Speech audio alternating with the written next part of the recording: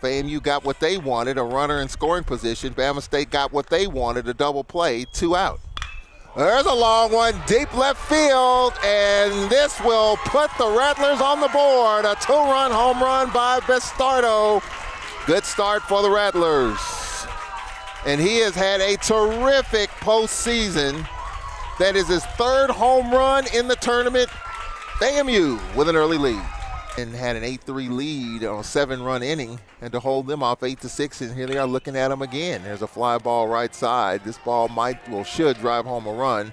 It's going to be caught in right. Throw comes in the second. A sac fly by niles. Hadn't been the very best. The lo- you get a little tired that is there's another a hit. base hit. That pitch was up. It's going to be waved home and the throw in the second Alabama State on the board. And listen, it wasn't a hard, wild swing. This is the inning. I mentioned the run. I'll let you think about that for a moment. And here's a little flare in the shallow right center. It's a base hit. A run is in. Runner to third. The throw is there. He's out there, and the run counts. It's a one. Is struck out and singled. Here's a base hit up the middle, right center field. A run is in, runner to third, and Alabama State trails five to two.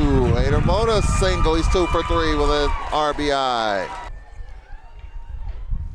Here's a long fly ball in the deep left field. This ball's well hit, and this ball is off the wall. God. Just missed it. Runner being waved around. Brett Richardson waves him around. He'll score, and the Rattlers lead 7 to 2. That's what Alabama State is right now. Here is the 1 2. That Popped is. up, right side, right field. And Jump the Rattlers are going to the SWAC championship game.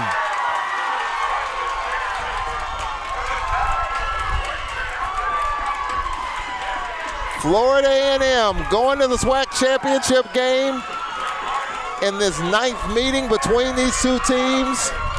The Florida A&M Rattlers are going to the championship as Bastardo with the catch, and FAMU will be here tomorrow as they eliminate the tournament champions, Alabama State, by the final score of 8 to 4.